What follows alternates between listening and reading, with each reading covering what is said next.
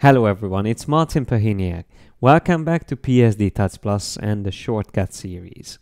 Today I'm going to start a mini series inside the Shortcut series about the retouch tools and options in Photoshop. In this first episode of this mini series, I would like to talk about sampling with retouch tools. Sampling correctly is the most important thing.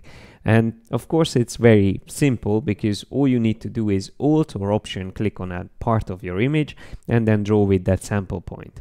But to tell the truth, there are much more to it than that. There are a couple of things you should know about which will help you tremendously when you do retouching. First of all, you should always retouch on a separate layer to work non-destructively. It works with all the retouch tools in Photoshop. So if I create a new layer, I'm going to create this new layer. It's Command Shift N or Control Shift N on PC. And then I'm going to call this layer retouch. So I have my background layer with this photo and then my retouch layer on top of it. Now, let's just say I would like to get rid of the uh, distracting element in this image, which is this uh, post here, uh, the wires and the post itself. So for that, I will probably select the tool called Spot Healing Brush Tool. As you can see, this has a couple of options here on the top, but most importantly, it has the Sample All Layers option. If I turn that off and I try to draw over the post, nothing will happen because my tool will only try to sample from the selected layer. If I select the background layer and I draw over that with the same tool, it will already work, but the problem with this is that it will completely draw over the original image, which I don't want to. I don't want to lose details because I never know if I need to go back and maybe see that de detail that I just got rid of. So I'm going to go back one step and I uh, stay on the retouch layer and I turn on sample all layers.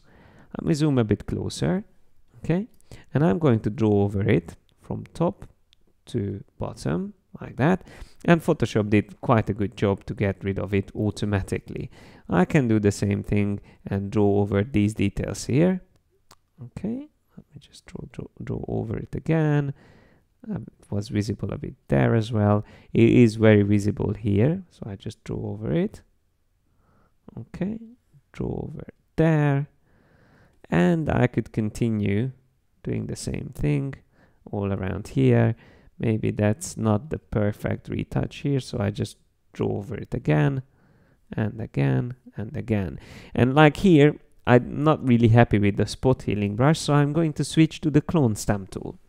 With the clone stamp tool you can be much more accurate but you can also change the sampling option not just to all layers but you can have current and below and current layer. So current layer would be again uh, only sample from the selected layer which I don't want to. But in this case I can use current and below because there are no, not more layers. If there are many layers and you want to restrict the sampling from the layer below and the current layer that you are working on, which is still non-destructive, then you can use this option. Otherwise, you can just stick to all layers, just like with the, uh, the spot healing brush tool. So the spot healing brush tool, you don't need to sample at all. Uh, it uh, all happens automatically. While with the clone stamp tool, you have to sample. So I'm going to sample from the tree and I'm going to draw over this part here and the other part just to make it a bit more uh, believable. And here as well, I just draw over it a bit.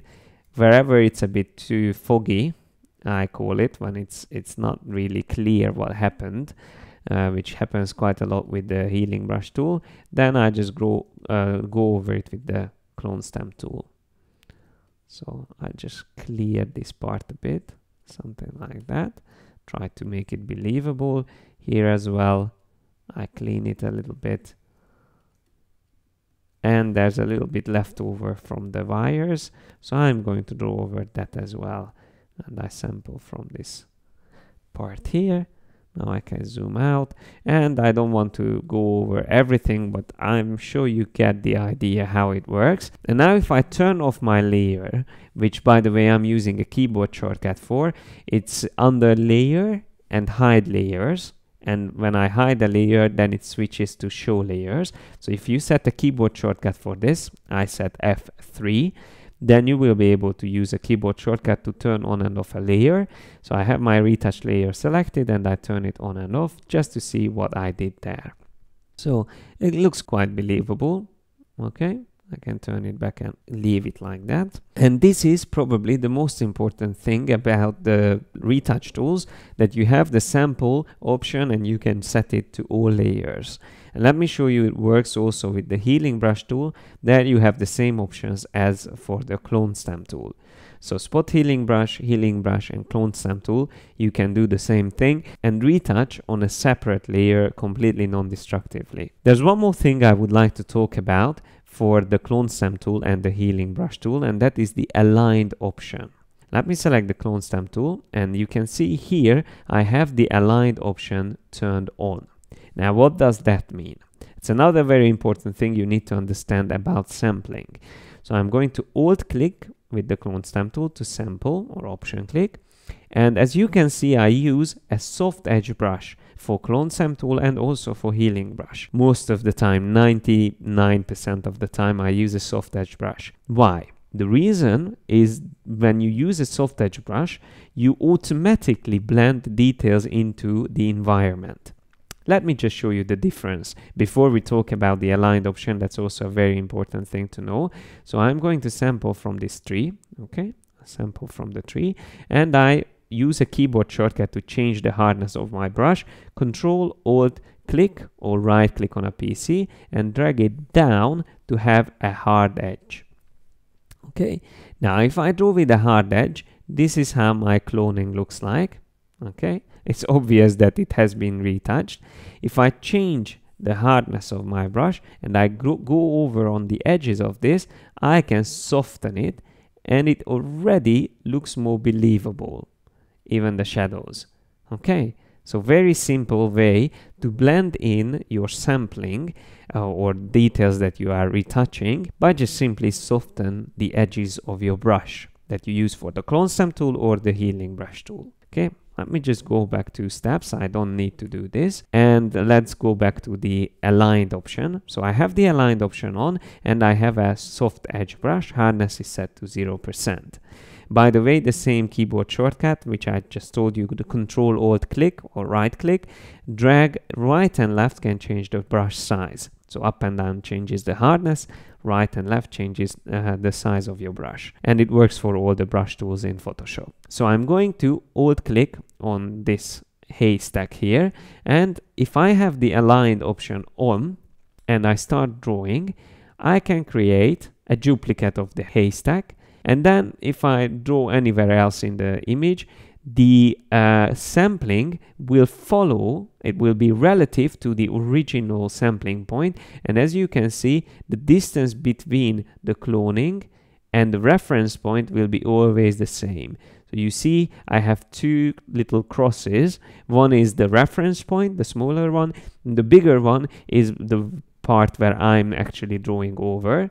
So it will always stay the same. The distance between these two points will always stay the same. So I'm always going to reference back to the original distance. But if I go back and I turn off aligned and I sample again, I do the same thing here. I draw another version of the haystack, okay?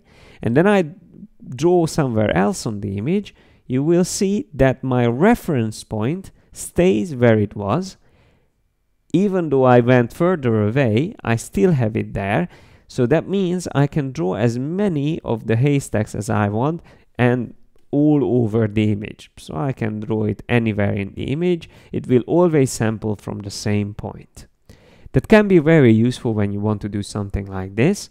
But of course, it won't be believable because it will be always exactly the same sampling. I'm going to teach you more about the clone stamp tool later in this mini series about retouch tools when we are going to learn more about the clone source panel. But for now, that's all I wanted to show you. So remember, aligned option is very important and mainly the most important thing is the sample option and to work non-destructively on a separate layer. So I hope you learned something new today. I hope you enjoyed this tutorial and make sure you join me next time and I'm going to continue talking about the important things about the retouch tools. Thanks a lot for your attention today.